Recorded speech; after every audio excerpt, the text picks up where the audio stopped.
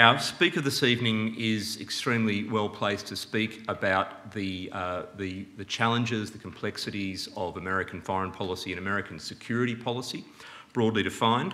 Uh, so, Laura Rosenberger is here as a Vice Chancellor's Distinguished Visiting Fellow, which is uh, uh a unique arrangement here at the National Security College uh, where we're really privileged to, to bring uh, eminent and expert voices from overseas to engage with the Australian policy debate.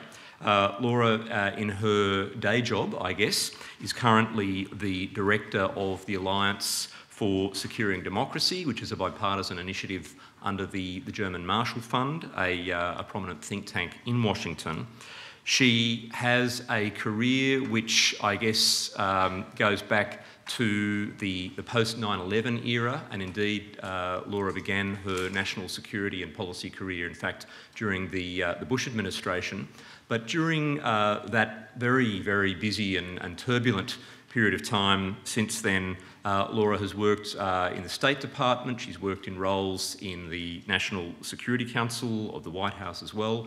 Most uh, recently, before moving into uh, the, the, world of think tanks, uh, Laura served as Foreign Policy and Security Advisor uh, in the 2016 campaign of, um, Hillary Clinton. And that's a story to which perhaps I'm sure she, she will um, tell you a little about, um, about insights into the, into the, way that ended and, of course, the, the the lessons that holds for the present day.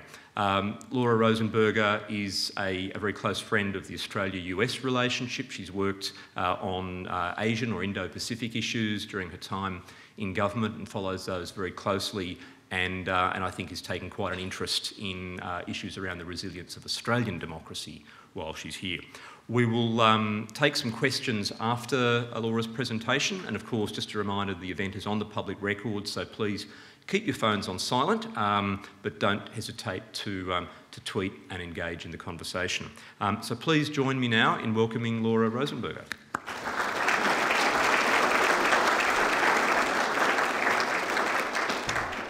Well, thank you, Rory, um, for that very kind introduction. Um, thanks, of course, to the National Security College for hosting me, as well as to the Vice Chancellor um, for hosting me here at ANU. Um, and thanks to all of you um, for giving your evenings to be here for this conversation. Um, I'm going to start, as Rory said, with about maybe 20 minutes of remarks, but I thought it would be um, particularly a good opportunity on this topic to have some back and forth. So be thinking of questions as, I, as I go along. Um, I don't need to tell you all that we live in an era of disruption. And in the United States, while certainly um, we feel that Donald Trump is one of those disruptive forces, it's very important for us to remember that he is not the cause of those disruptions. Rising authoritarianism, transformative technologies, growing nationalism fueled in part by dislocation, increasing wealth gaps, all of these forces are putting strains on the post World War II international system. The damage that Donald Trump is doing to America's leadership abroad is compounding our ability to deal with these many disruptive forces, hampering America's ability to respond in a smart and strategic way that positions us to meet the challenges of the future. These are all forces that Democrats must contend with as they begin articulating their foreign policy agendas for the 2020 campaign and beyond. Any successful foreign policy vision can't just seek to repair the damage. There is no going back to how things were or to simply respond to Trump. The reality is that regardless of Trump, major reforms to the international system would have been necessary. And while what I'm laying out today is a sense of where I think Democrats are going and should go on foreign policy, I come at national security with the belief that it should not be a partisan issue. As you heard from Rory, I spent many of my years in government as a career civil servant under administrations from both parties. I remain hopeful that Trump is a temporary outlier, and I will speak to this in greater detail. And I believe that we can restore a bipartisan consensus on foreign policy in the United States. I believe it's especially important as our adversaries have demonstrated how powerful the ability to divide us is in terms of weakening America. Standing together is actually of strategic importance for the United States. And so, what I'm speaking about today is framed as a democratic foreign policy. It is not based on politics, but on American interests. I also, just reflecting on 2016, think it's important to underscore that Trump was elected not because of his foreign policy, but despite it. if we go back to exit polls, Hillary was 53-42 on the question of who would better handle foreign policy. 49% thought she would be a better commander-in-chief to Trump's 46. But critically, only 13% said foreign policy was the most important issue facing the country. And this lack of emphasis among American voters on foreign policy has continued. A forthcoming study from the Center for American Progress found that 65% of Americans don't think foreign policy decisions by the government matter to their lives, a figure that is consistent roughly across all demographic groups. That disconnect, and I say this with great humility, is a result of a failure of foreign policy professionals like me to speak about American foreign policy and the importance of American leadership in terms that resonate with the voting public. So it will be critical for Democrats to find ways to talk about foreign policy in a manner that connects with people's lives. Trump has challenged conventional foreign policy in ways that scholars and practitioners find deeply disturbing, but he has a clear narrative. For Americans, they will look around and see that for all the warnings of the apocalypse resulting from Trump's approach to foreign policy, it hasn't come. The damage, of course, that is being done is significant, and everyone in this room knows that. And it is compounding. But for many Americans, the damage is being done, quote, over there, and it is not visible to many at home. The good news is that because this is an issue that is not particularly salient for voters and one on which they are broadly not terribly familiar with the details, it is one where leadership can have an enormous impact. And so it is incumbent upon Democratic foreign policy analysts and candidates in the 2020 race to articulate a, an agenda for strong leadership backed by a strong narrative. So turning to the 2020 race, it's very early. Many candidates don't have a significant record on foreign policy, and in fact, some candidates haven't yet even entered the race. And I should say up front that I do not expect foreign policy to be a significant driver of the campaign itself, but it will be a defining issue for the next president. So against that backdrop, let me address the areas I see as emerging consensus among candidates and leading Demo Democratic foreign policy analysts, areas where there is a potential divergence, and areas where I think it will be critical for a successful post-Trump foreign policy that require more focused attention than they've seen to date. First, the democratic struggle against authoritarianism will be a defining feature of the next several decades. The idea that strengthening democracy needs to be central to any democratic foreign policy is emerging as the earliest area of consensus amongst Democratic candidates running in the 2020 race and of leading foreign policy thinkers in the Democratic Party. This consensus is born out of recognition of the damage that Trump is doing to American democracy at home and concerns about growing authoritarianism around the world, and the fact that that poses a direct threat to the U.S. way of life. It reflects concerns about Russia's attacks on our democracy and of our allies, and of concerns about techno authoritarianism being developed by the Chinese Communist Party. And it reflects concerns about illiberal slides within some of our allies, including within NATO. The centrality of democracy to foreign policy has already been articulated by a number of leading voices. The Center for American Progress has proposed putting democratic values at the core of democratic foreign policy, underscoring that doing so is inherently in America's interests.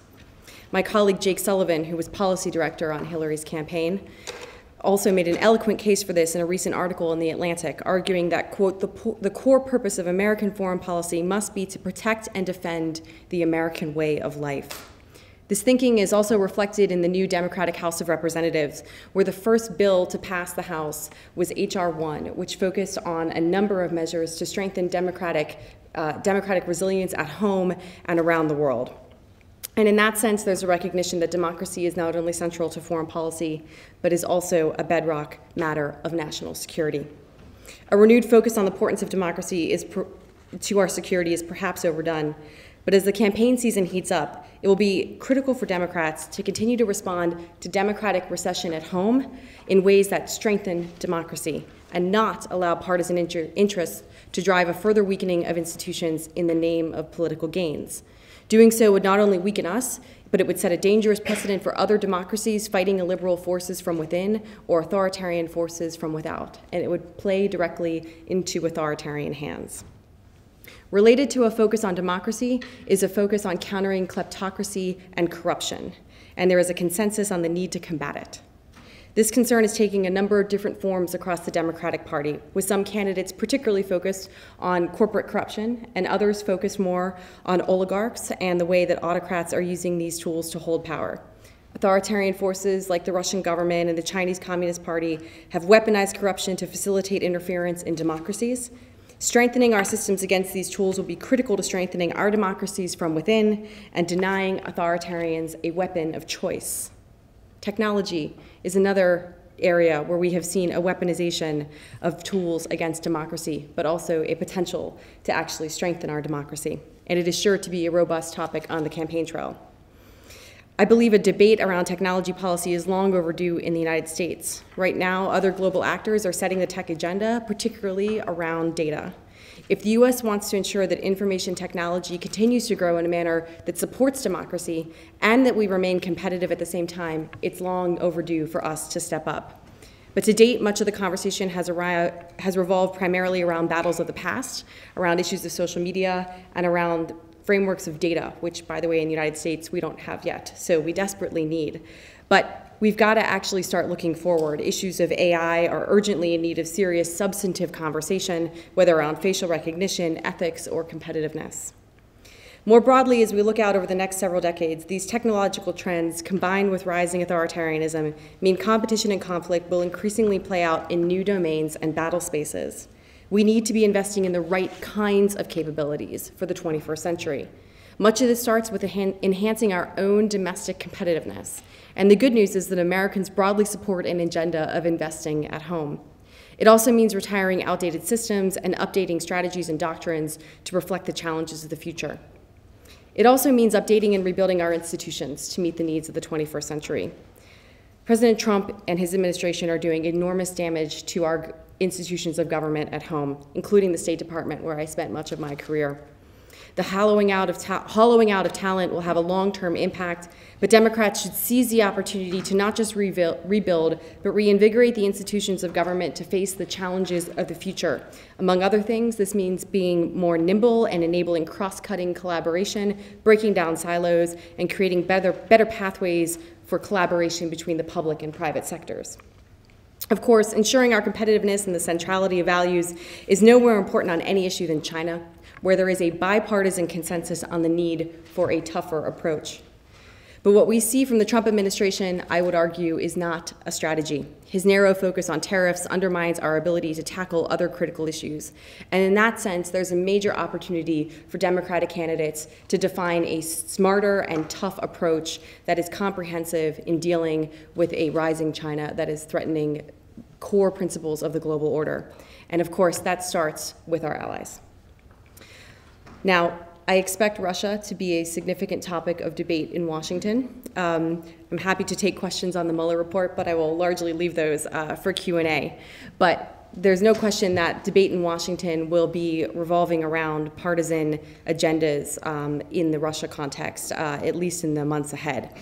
But I would note that to date, the, the, issue of Russia and of the Mueller report has not come up much on the campaign trail, and it does not appear to be an issue that is driving voters.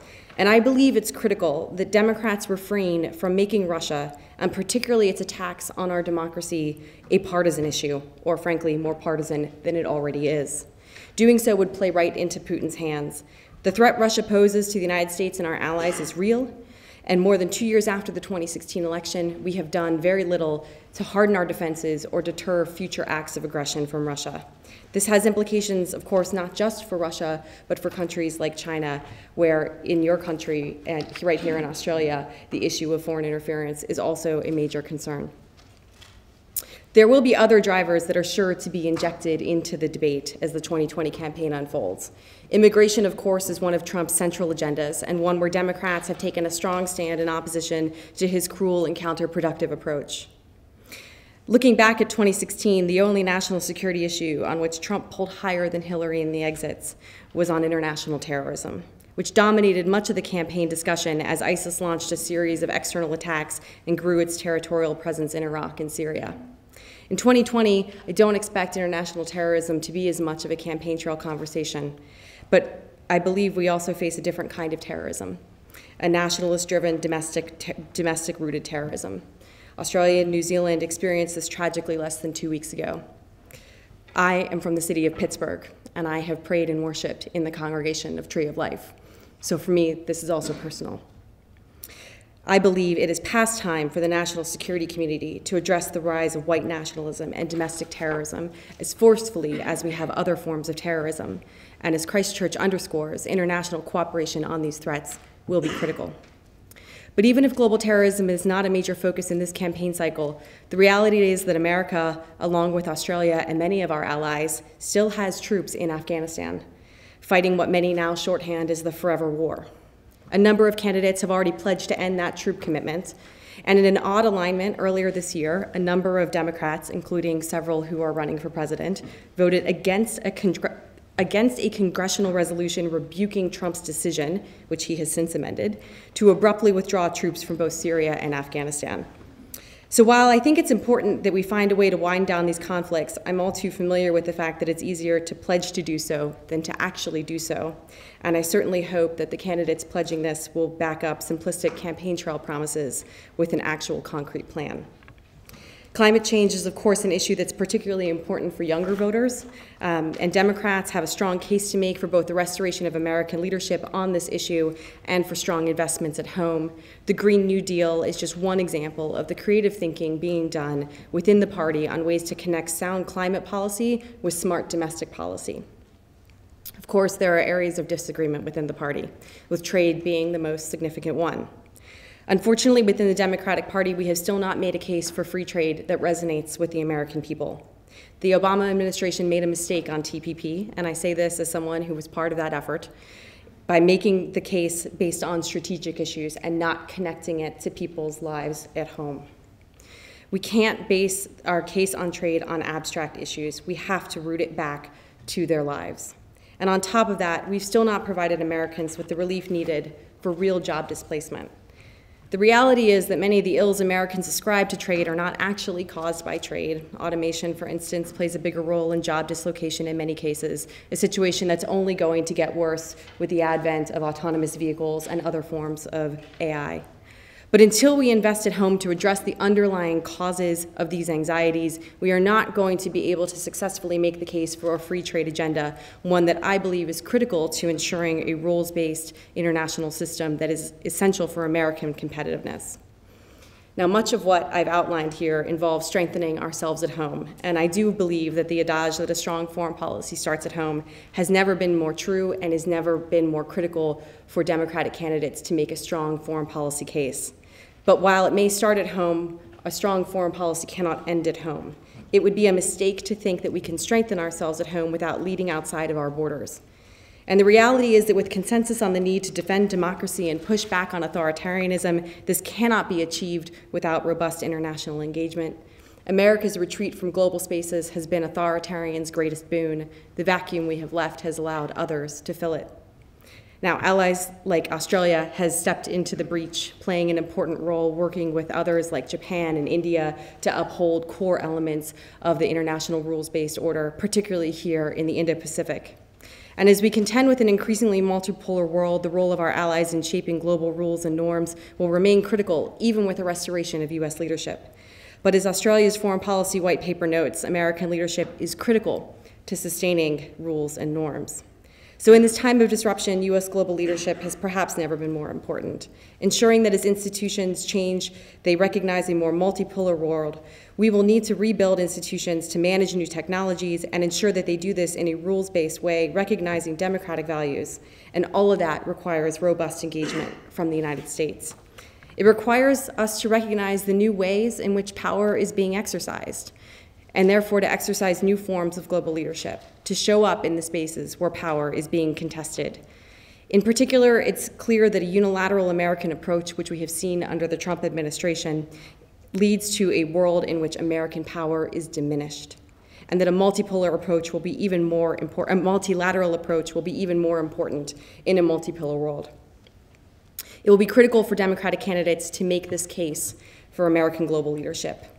The good news is that despite assumptions that Americans overall are more isolationist today and less willing to engage in the world, the, the, forthcoming study I mentioned from the Center for American Progress found that Americans favor a form of what they've dubbed restrained engagement, preferring the use of diplomatic, political, and economic channels over military action in advancing U.S. interest, with few supporting isolationism. But sustaining support for American global leadership and international engagement will require a concerted effort by our leaders to build a narrative around why it matters. Let me end on a perhaps personal and hopefully not overly cliche note. But one of America's greatest sources of power has always been the idea of America. And one of the most harmful things that Donald Trump has done to American power is to shake that idea, upending the values that are the core of who we are diminishing our power and harming our credibility. We need American leadership that does our best to live our values, recognizes our failings and self corrects, stands with our friends, and serves as a reliable partner for our allies. And so, simply put, one of the most important tasks for a successful democratic foreign policy is to restore the attractiveness of America. Thank you very much.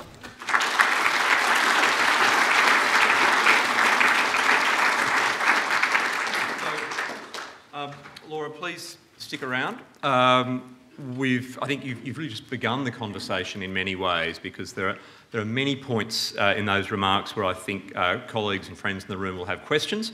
Uh, I've got my own questions, uh, which I'll maybe come uh, to you with shortly. But let's, let's open it up to the group straight away. Uh, please. Wow, this is, this is, this, this is good. Um, please confine yourself to one question each uh, and try to make it a nice, succinct question rather than uh, a speech. So I'm going to begin right over on my far left with the uh, young woman over here. There's a microphone that will find its way to you, and I'll work, I'll work from, um, from this side to that side. Thank you. Yeah. Keeping Thank you for that. Um, I just wanted to know if you could please comment on the Mueller report over the weekend. Oh, there we go. And, and, and, and, and also, I'll ask all of the speakers just to introduce themselves as you, or the questioners to introduce themselves. So, thank you. My name is Humera Rabab. I'm currently studying Masters of International Security Law, and that's why I'm so interested in this speech. Fantastic. Thank you so much. Um, so I think one of the most important takeaways from what we know of the Mueller report, um, which is to date still a, a summary of the overall report, um, for me from the national security national security perspective, is the um, reaffirmation of the findings from the investigation about the core components of Russia's attacks on our democracy. Um, the summary lays out the main vectors that Russia used: um, a campaign around social media, the hack hacking of um, the DNC and several campaign officials, um, and the use of those in order to undermine Hillary's candidacy and to help President Trump. Um, we also know, of course, from several other investigations, um, including um, the international, I'm sorry, the um, intelligence community assessment, a bipartisan investigation by the Senate Select Intelligence Committee, um, as well as several um, subsequent indictments that have been brought by other parts of the Department of Justice, laying out additional elements of Russia's um, interference in American democracy. For me, that's the most important takeaway from the Mueller investigation, is a, a unanimous and um, absolutely clear finding of what Russia has done, and what I would add is continues to do. And so for me, um, right now, uh, I am disappointed by what I see as a um, perhaps not surprisingly partisan reaction um, to the conclusions of the investigation. When I think, um, you know, understanding, in fact, as I mentioned, that um, one of the core strategies of Russia's efforts is to divide us. Um, this is precisely the time that we need to be coming together. Um, as we look forward to the 2020 campaign um, and the 2020 election, um, it would appear to me that Russia has received um, no message of clear deterrence. Uh, there's been very little consequence for its activities, and many of the very clear known vulnerabilities in our democracy um, that have been exposed through these activities have not been addressed.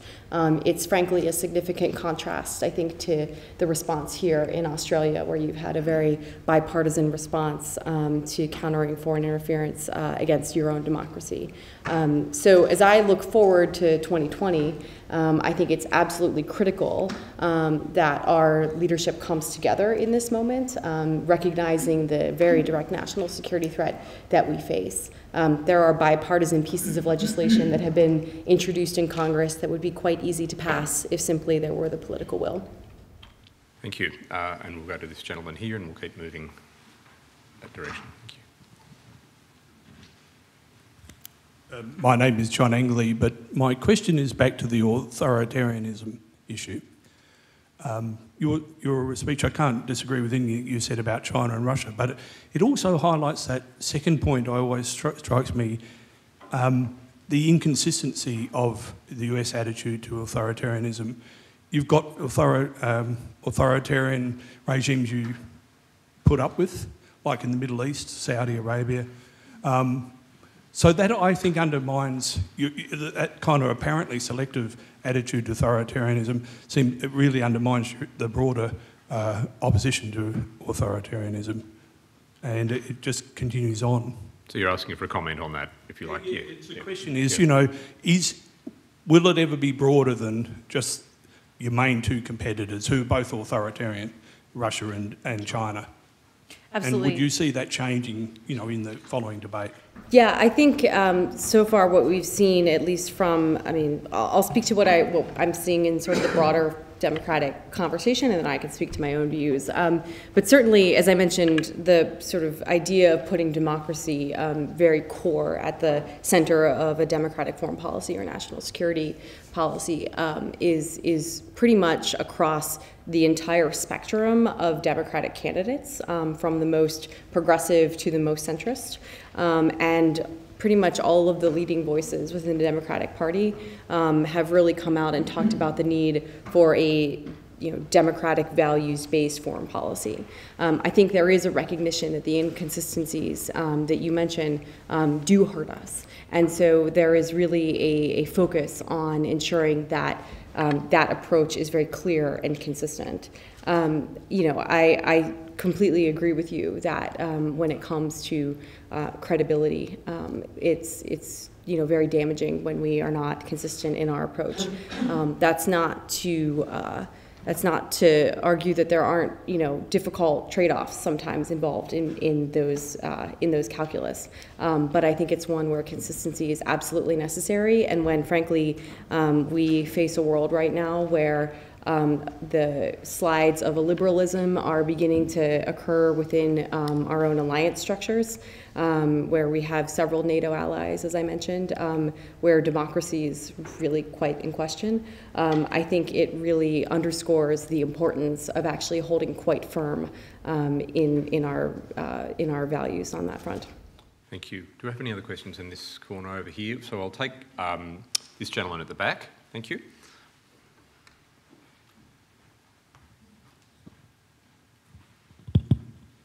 Good evening. Uh, my name is Surana. I'm from Cambodia and I'm a master student from the mas uh, Master of Diplomacy. And I got a question regarding the um, uh, domestic affairs of the U.S. politics. As your, for your personal view, uh, uh, do you think Donald Trump should be impeached? and uh, why and why not? Thank you very much. Um, we can take another question if you like. no, no, no, no. Here's what I would say. Um, I think impeachment, um, number one, is largely a, it is entirely actually a political decision. Um, it's not a legal decision whatsoever. Um, number one. Um, number two, um, I am quite focused right now on what is the best way to strengthen American democracy and prevent our institutions from being further weakened. Um, and I am quite concerned that uh, the potential um, of, I'm quite concerned about the potential for impeachment proceedings um, to do further damage to America's institutions of democracy. Um, I believe in our resiliency, um, and I believe that if we can make a very strong case uh, to voters, um, that we can actually come out um, stronger at home um, with actually strengthened institutions than we would uh, if we were to proceed with impeachment. So I'll take uh, this question from this gentleman here and then we'll move to the middle block. Thank you. I'm sorry, we'll come back to you if we have time. Hi, uh, Ben Ascione, postdoc researcher here at the Crawford School. So my question relates specifically to uh, China and the rise of China. And so it's clear that you see China as a threat, but I want to ask you to elaborate, you know, more, more specifically, like how and in what ways. So is it is it the nature of the Chinese Communist Party itself, specific goals it holds, um, specific actions it's taken, and are you suggesting that um, you know cooperation with China is is uh, no, possibly no longer feasible, and and and also the timing of this? Like, has this there seems to be an intensification in in U.S. attitudes towards China. Um, with, uh, you know, since Mike Pence's speech at, at, the Hudson Institute, that there seems to be a, a more stronger um, approach towards China out of the United States these days. But is, is this a recent phenomenon or, or something you see that's come Lots uh, there. over time? There's a lot of different components to that question, so I'm going to do my best uh, to address them.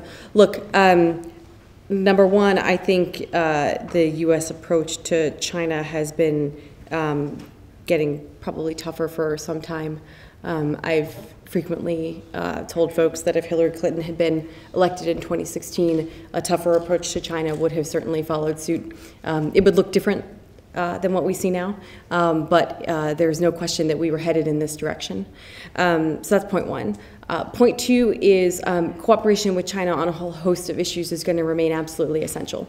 Um, it's not. This is not a binary. Um, uh, you know, there there are so many issues on which um, cooperation with China, on which uh, you know, um, collaboration in some ways on, on problem solving um, is, is absolutely essential.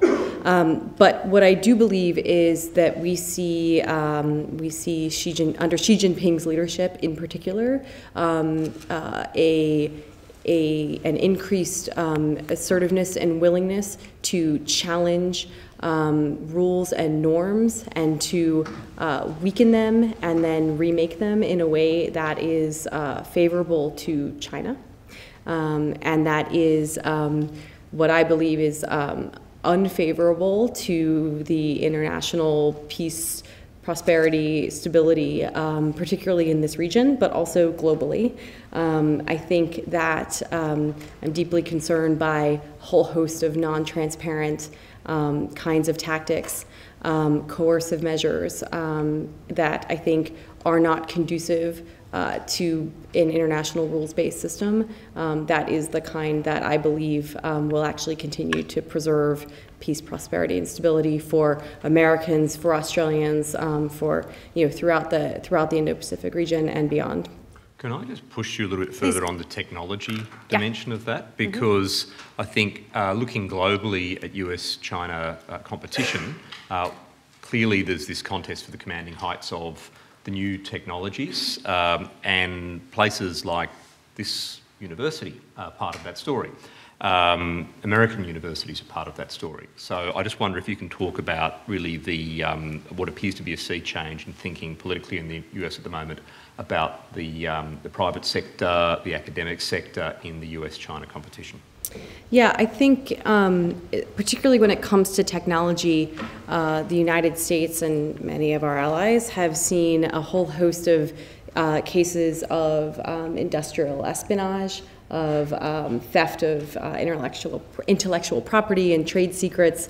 Um, obviously, sometimes that's cyber enabled, sometimes that's um, through research collaboration, sometimes that's through um, more traditional forms of espionage um, in uh, private sector companies.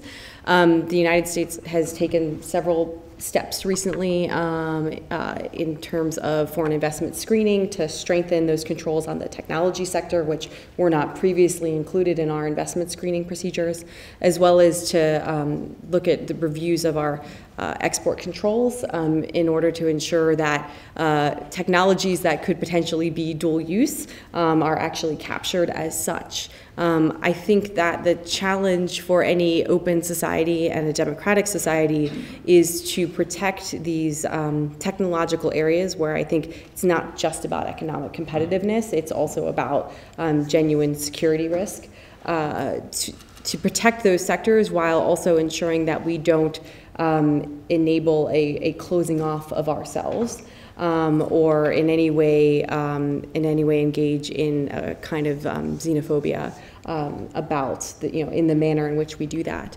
Um, but I think the reality is, particularly when we look at technologies like AI.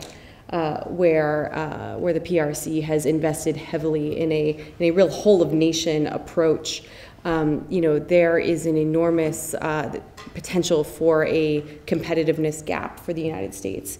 Um, and we will face some trade offs in thinking about how to take steps to protect our own ability uh, to develop our technology and to do so in a way that is consistent with democracy and our values um, without harming our competitiveness by cutting off contacts. And I think this is actually one of the most important and um, areas where real um, nuance is required um, in how we think about it and, and um, making sure that we weigh all of the, the trade offs appropriately.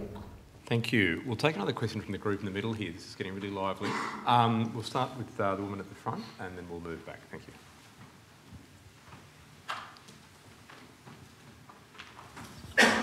All right, Rachel Warder, I look after the Middle East and Afghanistan in defence. So my question is related to Afghanistan. Um, and we know that we're currently negotiating basically with the Taliban and the Afghan government about what the future is going to look like. How far do you think President Trump would go, and how unpalatable is that likely to be to the international community to meet his commitments of getting Afghanistan troops out quickly? So I've made it a policy in the past two years to never try to speculate on anything President Trump will or will not do. um, that being said, um, you know, I, I think uh, number one, it's pretty clear that he, um, this is a commitment that he uh, uh, wants to fulfill. Um, it will be something that is important to his base uh, for him to be able to tell them that he's done. Um, and, and therefore, I think there's potential for him to make uh, any range of unpalatable decisions or decisions that are unpalatable to the broader international community. Um, that being said, um, I think uh, this is one area where um, uh, bureaucratic inertia is um, important. Um, I think the Defense Department does have a good bit of sway on thinking um, throughout the administration on this. Now, that is shifting. Um, we, of course, still have, uh, we don't have a confirmed Secretary of Defense. We don't even have a, a nominee uh, for Secretary of Defense. Um, uh, we also don't have a permanent chief of staff at the White House. Um, so there's a whole host of reasons um, where I would um, be uh, cautious about where this may head. Um, but I, I think uh, well, I guess I think there's a range of possibilities, but I, I ultimately think that, that, that it will end up in a, in a space where, where President Trump can proclaim victory. Now, look, we've also found um, that uh, he's sometimes willing to proclaim victory even if he hasn't actually done what he says he's done. Um, Sometimes so, that's a blessing, right? uh, so, you know, um, there's all kinds of ways that you can call troops other things, and we've done that actually previously. Um, and so is there a way that he can talk about, you know, bringing the troops home, maybe while still having, you know, a presence there under a different name? Possibly. Um, so I think there's a, a, whole range of possibilities. Um, so that was a lot of speculating on not speculating. We'll take a question at the, the back, uh, the woman at the back, and then the gentleman behind her. Thank you. Um, you've critiqued partisanship within the US political system. Do you think that the post Trump foreign policy era should have a concerted focus on creating a, pi- a bipartisan message to the world? Yes. yes, I would very much. I would very much hope to do that. I mean, look, there's. Um, I'm, I'm not like so naive to think that this is something that we can do in, in sort of every corner of the foreign policy space. Um, issues like defense spending, for instance, are always going to come under uh, partisan disagreement. Um, but are there some broad principles and consensus that we can reaffirm? Um, I think so. Um, and I think if we lift the hood a little bit, actually, on um, the foreign policy conversation in Washington, um, as I said, I, I, hope President Trump is an outlier. Um, in fact, if you look at uh, some of the most unanimous or, or close to unanimous votes in Congress um, over the past few years have been on foreign policy issues. Um, and so I actually think that there is still more bipartisanship on foreign policy in most areas than there actually appears to be on the surface. And that does give me um, some hope. Thank you. And the young man at the back. Yes. Uh, thank you. My name is Michael Yam, a second year undergrad here at the ANU. Uh, so my question is on technology as well. Uh, so Brad Smith, the president of Microsoft, was here this morning, and he talked about how Microsoft is trying to take the lead in calling for regulations on uh, technologies like facial recognition and autonomous weapons. Uh, but since the uh, privacy fiasco last year, uh, the tech industry has been a favorite target of Democrats and Republicans alike. So do you think under a uh, Democratic administration in 2021 and beyond, there's any chance of uh, a Democrat in the White House working with companies that are trying to be proactive in creating some sort of rule-based regime on technology like autonomous weapons, or do you think there's no chance at all? Thank you. Lot of questions packed into that. So um, I think that when it comes to technology and technology policy and ensuring American competitiveness and ensuring ethics around technological development and all of these issues, um, that there is nothing that the government can do alone on this and that it is inherently, it will inherently require cooperation between uh, the government and the private sector. Um, I was at the White House um, during the Snowden revelations, and I watched um, the relationship with Silicon Valley um, come crashing down. Um, and of course, um, during the encryption debates that we had in the United States a few years later, that uh, that tension in the relationship only only was further entrenched. so there's an enormous amount of distrust um, uh, frankly, on both sides of, um, of the sort of public and private space. Um, so I think that it's incumbent on government um, to figure out ways to work with the private sector, but I also think it's incumbent on the private sector to figure out ways to work with government.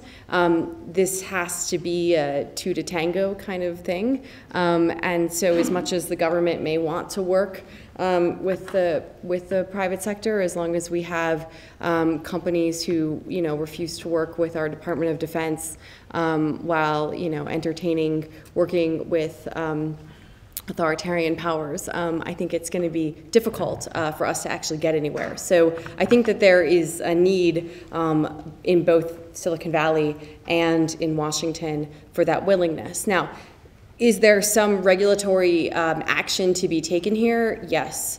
Does it need to be smart? Yes. Does it need to ensure that we're not fighting the last battle instead of the future war? Yes.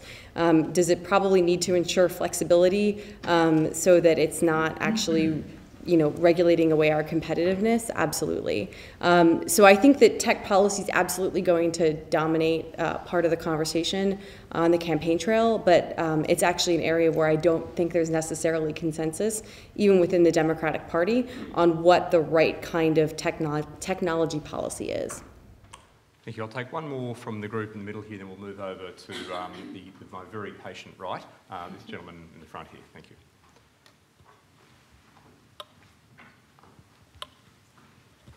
Um, thanks so much for coming down and doing this wonderful speech. Um, I'm Karan Tamij. I'm one of the graduate students at the ANU and used to work at the Australian Mission to the UN in New York. Um, in the last time there was a big Democratic primary field in 2008, um, foreign policy background, at least past decision making regarding the Iraq War, became a big differentiating factor.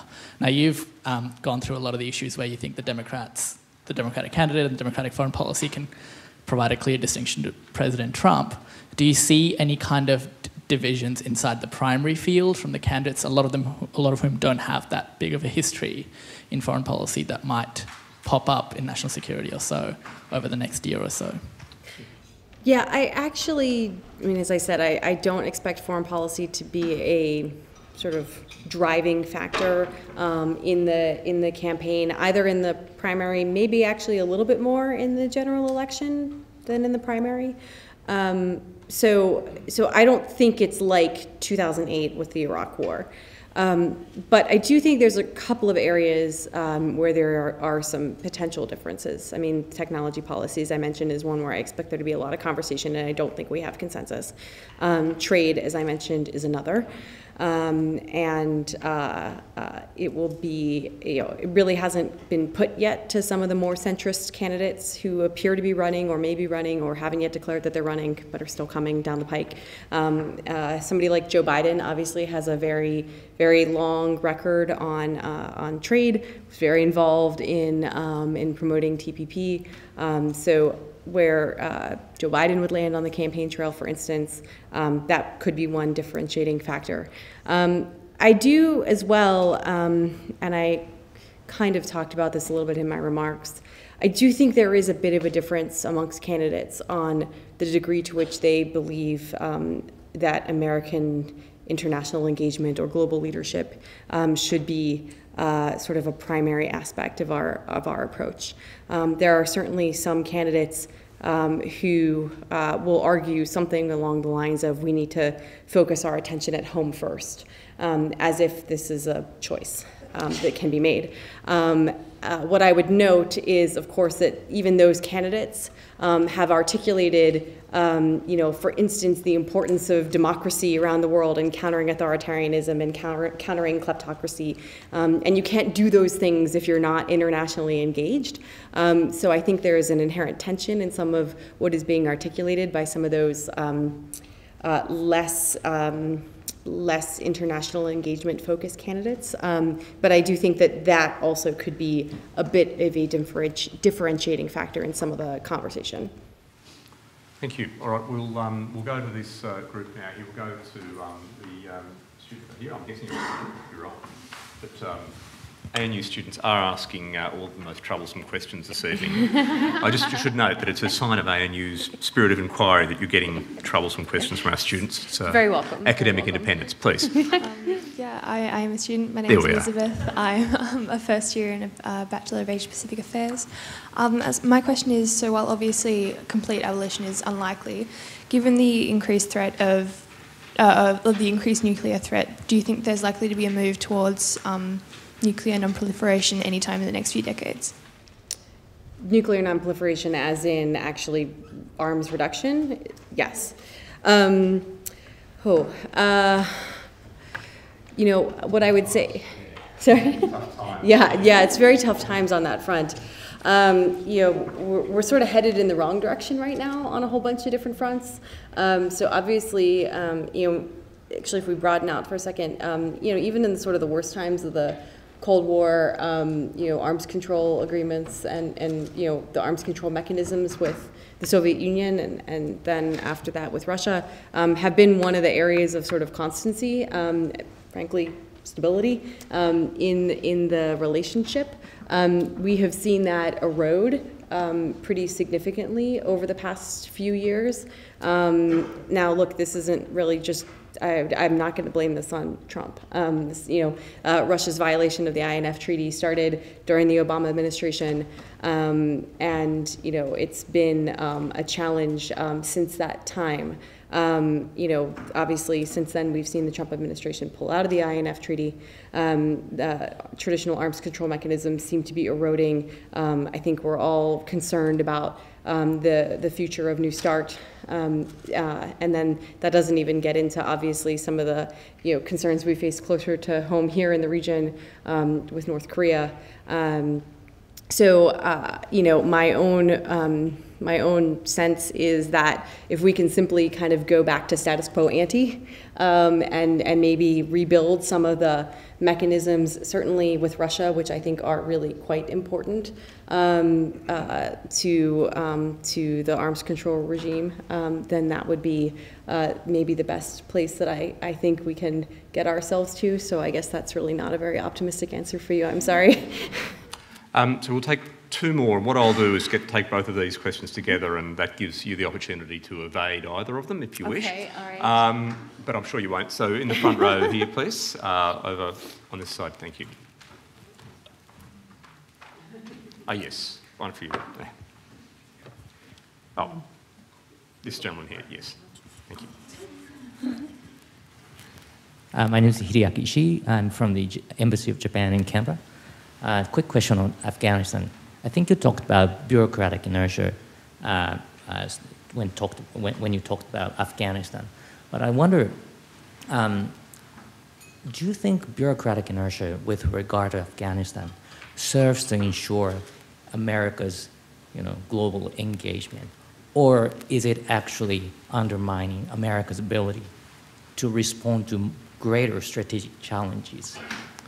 Okay, don't answer. Um, a really easy question right there. Thank the you man, for that. This, this man who kindly passed on the microphone, you should take, we'll, we'll have three questions. Why don't you take your question, please? Yes. Yours might be easier, Um, yes. Laura, um, my name is Ben Smith, Australian uh, China Friendship Society. You've spoken a lot to, this evening vilifying China in one way or another. And yet, on numerous occasions, the United States has threatened China. In, in, in the series of military bases which you have in the Sorry, Western Pacific. what's your question? My question is, is that you should be the last person to criticise China. That's not a question. You've made numerous, numerous threats, the American government, that is, against China, including nu- the nuclear threat. Tell us about that. Thank you for that question. Um, and our last question of the day, um, I think to the, uh, the young woman in the middle, please, who has her hand raised. Yes.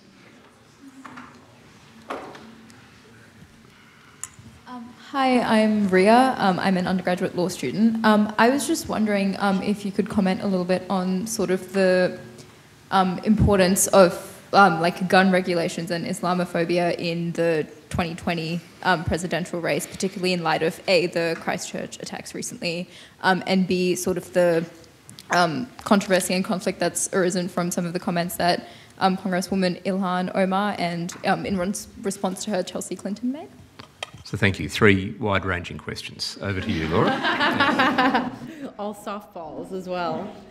Um, okay, so starting with Afghanistan. Um, I think that uh, the United States has kicked the can on this particular um, challenge uh, for too long.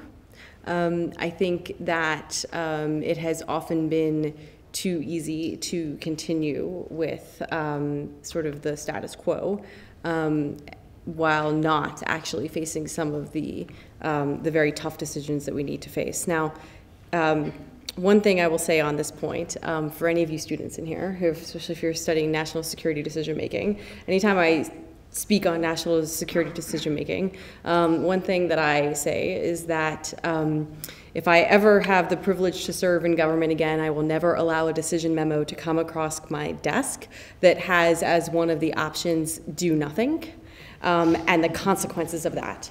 Because I actually don't think that decision makers um, effectively weigh what the pros and cons of the status quo are. We look at all kinds of options, um, and if you ever want to hear me talk about Syria and decision making there, this is actually super important in that context. The kick the can, do nothing decision is often the easiest, but it's one where we don't actually go through the exercise of weighing the pros and cons. But it is actually taking a decision, and we need to recognize it as such. Um, so, in the Afghanistan context, do I believe that um, that our uh, inability um, to come to uh, a very carefully weighted decision um, uh, in a way to, to wrap down our presence there um, in a manner that protects American interests um, and enables the continued stability of the region is harming our ability to, to project American power elsewhere? Yes, I do. Um, on China, I'm happy to, to chat. I don't believe anything I said is vilifying China. Um, I've spent a lot of time in China, and I certainly um, appreciate many friendships um, with uh, the Chinese people. Um, but I believe, but government's threats against Thanks. Please let the speaker answer the question. Um, but I believe um, that a constructive relationship with China um, has to recognize some of the challenges that we do face um, in that relationship today, and that is what I was um, was laying out. Um, on the question of Islamophobia, guns, Ilhan Omar, that's a lot. what I will just say is a couple of things. one. uh, Donald Trump and his rhetoric has given permission um, to a lot of very heated xenophobic, uh, anti Semitic, Islamophobic, racist rhetoric. Um, and he has done that since uh, his very first, um, well, since his speech announcing his campaign, his candidacy in 2015. Um, and so, you know, but, but I don't believe that he is the cause of that.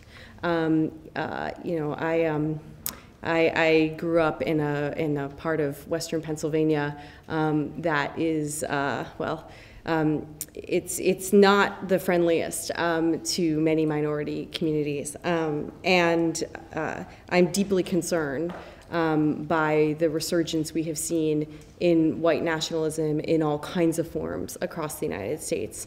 Um, I think that it's incredibly important, um, as I mentioned, that the next, um, you know, the, the Democratic um, candidates for president project leadership that, that um, actually uh, represents our values. I mean, for me, that really is about the attractiveness of America. Um, it is about the idea of who we are and of being true to it. Um, we have many blemishes, um, but you know, our uh, our Constitution talks about um, you know forming a more perfect union, um, and uh, and that's always been what we've attempted to do. And I think that that challenge um, is significant upon us today, but it's one that we have got to to tackle. And facing um, these demons are actually um, incredibly important to to doing that.